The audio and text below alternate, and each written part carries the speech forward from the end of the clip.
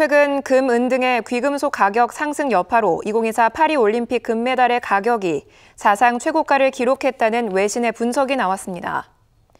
미 블룸버그 통신은 전체 무게의 92.5% 이상은 은이지만 금 6g이 포함된 이번 파리올림픽 금메달의 가격을 900달러, 122만 9천 원으로 분석했습니다. 금값 상승과 메달 무게 증가 덕분에 인플레이션을 감안해도 이번 대회 금메달 가격이 가장 비싸다고 덧붙였습니다.